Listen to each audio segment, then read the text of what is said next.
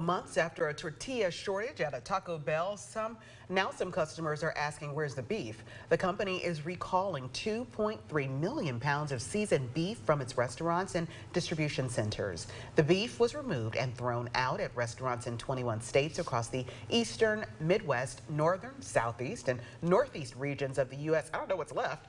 Uh, affected restaurants have been told to stop serving the beef while it replenishes its supply.